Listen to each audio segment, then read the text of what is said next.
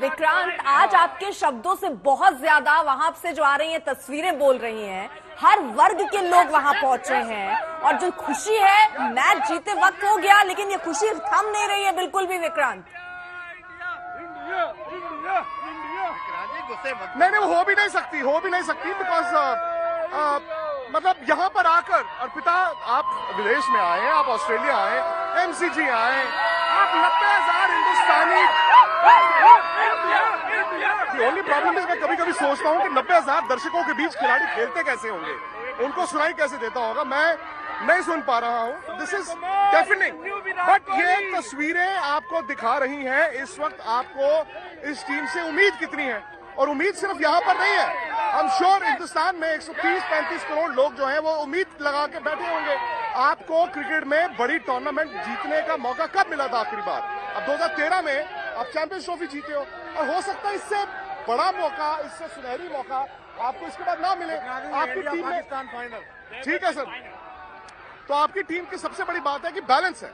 आपकी गेंदबाजी हमेशा कमज़ोरी थी आपके गेंदबाजों ने इंस्टाग्राम ਤੇ ਮੇਰੇ ਸੈਪ ਰਿਕੁਐਸਟ ਸਭ ਨਹੀਂ ਕੀਤੀ ਹੈਗੀ मैं कर लांगा सर मैं स्नैपचैट पे हैगा नहीं है ਨਹੀਂ ਨਹੀਂ ਆਪਣੇ ਇੰਸਟਾਗ੍ਰਾਮ ਤੇ और सर उसमें मेरी खुला है उसमें मैंने वो तो बिल्कुल ये देखिए तस्वीरें भी अ, विक्रांत हम तक दिखा रहे हैं और उनके जो फैंस मिल जा रहे हैं बीच बीच में उनसे बात भी कर रहे हैं मेलबर्न से लगाकर भारत तक की तस्वीरें किस तरीके से जोश हाई है वो हम दिखा रहे हैं हमारे साथ था नितिन भी हैं दिल्ली से मौजूद हैं और उनके पीछे भी भारत का जो झंडा है वो गर्व से लहराता इस वक्त दिख रहा है नितिन बिल्कुल देश का झंडा गर्व से लहरा रहा है क्योंकि अब सबको पता है सबकी उम्मीदें बढ़ गई हैं भारत सेमीफाइनल में है और जिस तरीके से आज जिम्बाब्वे के अगेंस्ट भारत ने दर्ज की है कहीं ना कहीं वो दर्शा रहा है कि अब सिर्फ़ दो वो मैच हम दूर है वर्ल्ड कप की ट्रॉफी से। अब देख सकते यहाँ पर एक ही चीज़ है। वर्ल्ड कप हमारा है। वर्ल्ड कप हमारा है सब पूरे देश की यही उम्मीद है सबका यही कहना है वर्ल्ड कप हमारा है। बात करेंगे इन जो क्रिकेटर्स हैं जो बड़ी क्रिकेटर्स हैं इनसे क्योंकि बहुत अब सिर्फ़ दो ही मुकाबले बचे हैं और कितनी उम्मीदें अब बढ़ गई हैं। अब बहुत उम्मीदें बढ़ गई है। इंडिया ने बहुत सारी टॉप टीम्स को हरा दिया है। अब बस इंग्लैंड अगली हमारा है। उसके बाद वर्ल्ड कप तो हमारा ही है। इंडिया जीतेगा वर्ल्ड कप जीतेगा। इंडिया ज़रूर वर्ल्ड कप जीतेगा। इंडिया से बहुत ज़्यादा उम्मीदें हैं। इंडिया बहुत अच्छा खेल रहा है अपने पूल में टॉप कर चुका है और ऐसे ही वर्ल्ड कप में भी टॉप करेगा। इस साल वर्ल्ड कप हमारा ही है। सूर्य कुमार यादव सूर्य कुमार यादव के लिए क्या कहेंगे? क्योंकि जो उम्मीद थी वही कर रहे हैं वो। और इसी तरह की परफॉर्मेंस जारी रहनी चाहिए। बहुत क्रूशियल है वो। टी ट्वेंटी में नंबर वन बैट्समैन भी सूर्य कुमार यादव है। उनका 360 शॉट्स है। आज भी उन्होंने इतने अच्छे स्ट्राइक रेट से रन बनाए हैं। एक तो वो इतना अच्छा खेलते हैं बहुत अच्छा खेलते हैं। और पूरे ग्राउंड में पूरे वो पूरे ग्राउंड में वो काफ़ी अच्छा स्कोर करते हैं। तो उनसे बहुत एक्सपेक्टेशन है फाइनल में भी। क्या आप क्या कह रही हैं?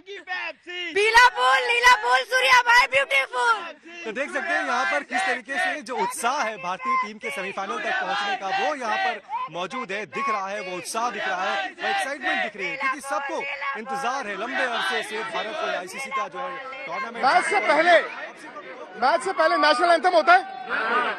नेशनल एंथम के वक्त वर्ल्ड कप की ट्रॉफी अंदर जाती है। आज मोलिना लेकर गई थी। यस आई डिड आज वर्ल्ड कप की ट्रॉफी इनके हाथ में। क्या एटमोसफियर था? 80,000 ओवर 80,000 पीपल स्क्रीम कर रहे हैं। नेशनल एंथम चल रहा है। Goosebumps it was the most amazing तो वर्ल्ड कप की ट्रॉफी आपके हाथ में थी वो कहीं गिरने का डर तो नहीं था। एक और लेडी थी उन्होंने भी उठाए थे। तीन हम लोग थे लेके गए पहुँच गई। ट्रॉफी पहुँच गई। हम लेके जाएँगे इंडिया वापस। हमारे हाथ में हो गई है